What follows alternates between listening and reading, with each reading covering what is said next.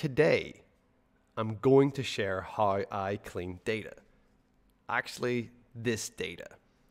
And there's just some of the common things that I do when cleaning data, and this is actually for um, my fifth graders.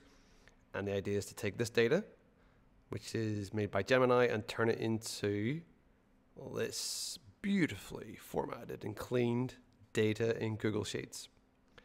So the first step I'll do here um, when I'm teaching this is I'm going to make a duplicate uh, of the sheet and then I'm going to change the name right there to MCU data cleaned.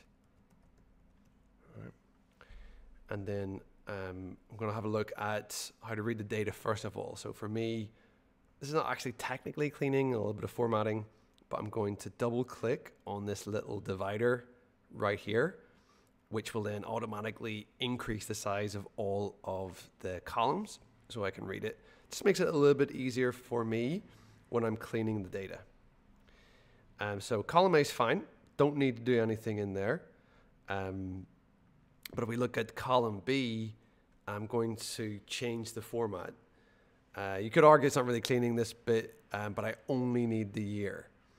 So what I'm going to do, I'm just going to highlight these cells here. So that's from uh, B2 right down to B20. And then I'm going to go to uh, format and then down to number and then uh, custom date and time. So this is the current one it's got. We've got month first, followed by day, then the year. So I'm actually going to delete all three of those from that time format and I'm just going to select a year and it is in this way. There's actually two ways you can display the year, the two digit or full numeric. So I'm going full numeric and click apply because we don't need the, the years for the analysis that we'll do later. Okay, the next one is I'm going to take column C here, which you can see is in USD billion or billions, and um, I'm going to convert that into millions. So first of all, change the name right there and millions. And then the idea here is I'm going to change the where it says 0.585 to 585 million. So to do that, I'm going to uh, hop over to a cell that's not being used. And I'm going to multiply the value by a thousand to get my millions. So equals, and then uh, click on the cell, which is C2, that I want to multiply by 1000. And there we go. Um, love this from Google Sheets, thank you. It does the suggested autofill, saving me the clicking and dragging down, but it's great, thank you guys.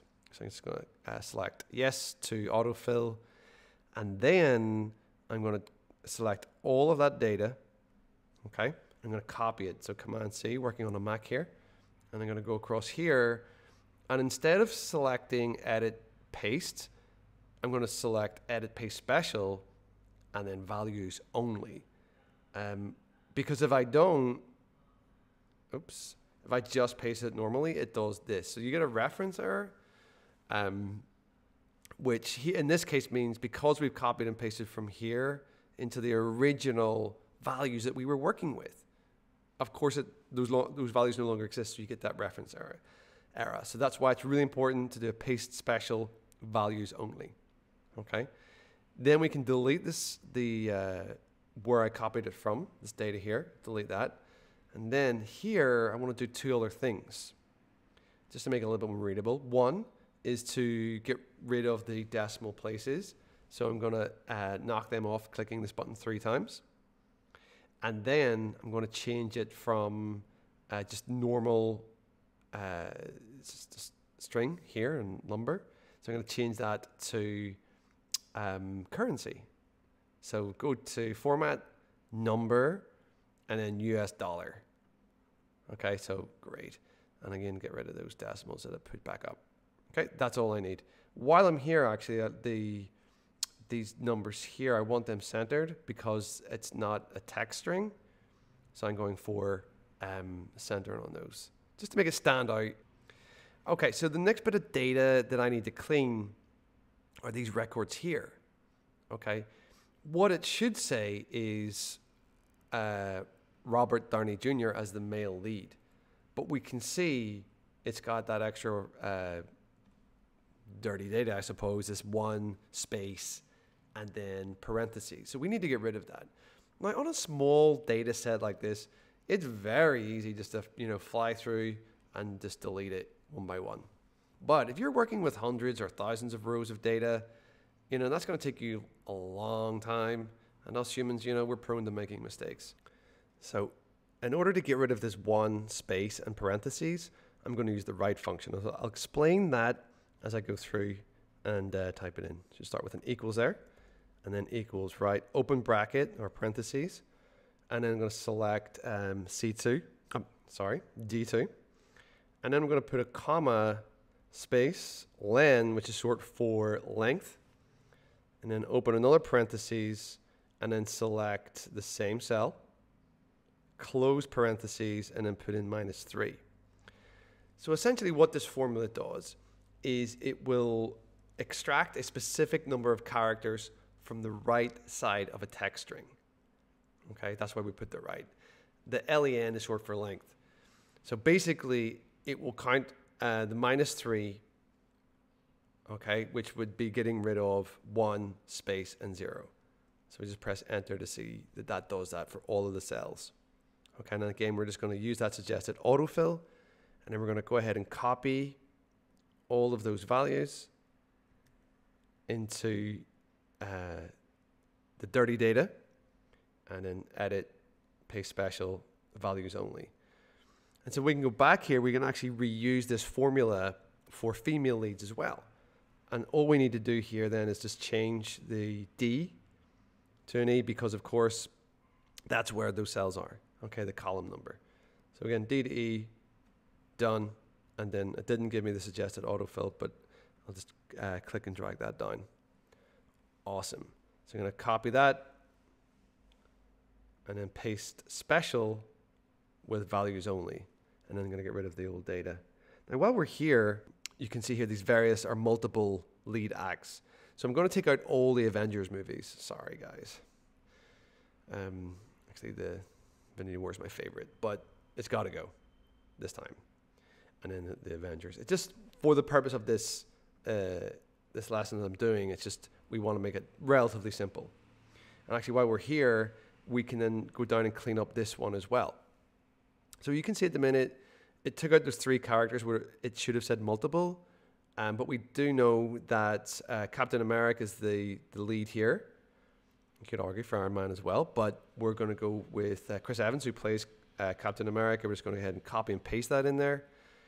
And then the other one, the other lead actress is Scarlett Johansson, um, which we're going to go ahead and paste in there. Okay, and again, both of those, uh, the actor and actress here, are American, so we're going to go ahead and copy and paste those right there. Okay, so now we've done, we've cleaned all the way up to uh, female leads. Now here, what's happened is this data currently in its current form is in one cell, but we need it to be in two cells. Uh, lucky for us, whoever put this data, Gemini, uh, separated the nationality by a comma. And then to fix that, to basically take these cells, or let's try one cell, and then put it into, or take out the, um, the other American here and put it into this cell, it's real easy. Okay, we just select the cell, select data, and then split text to columns. Now, you can use detect automatically. This is looking for the separator that separates the two pieces of data. And in this case, it's a comma. So we can either detect automatically or select comma. So there we go. So rather than go one by one, I'll just undo that, select all, and then data, split text to columns, and it's remembered that. Now the last column doesn't need cleaned, the age of popularity, it's all good and then that's it cleaned. So what I would like to do now though is just to add a little bit of formatting, uh, just to tidy it up a little bit. So I'm going to bold the table, uh, the headers of each of the columns, so they stand out, they pop out there, and I'm going to select all these cells right there, and I'm going to add a border. Again, this just so it pops out, stands out, easy to read. Maybe you like that, and then I can go through and maybe change some of the, uh, can do automatically actually just by selecting more like that, double click on the divider, just to make sure that you can read all the data that is within each column and each cell. And then finally, I want to add a title here. I'm kind of struggling with the how descriptive it should be, to be honest. But I'm just going to go for MCU, uh, box, office, details. A little bit generic, to be honest, but it's the best I can do at the minute without asking AI for a little bit of help. Okay, so we're going to bold that right there. I'm going to merge those cells. One of my buddies hates this when we merge, but I don't mind. And I'm going to center it, and I'm going to increase the size because it is the title, and then add in uh, the color for the background there. Okay, so at this point, I consider the data to be cleaned, and then uh, we'll go on to the next part, which is in another video. So thank you for watching.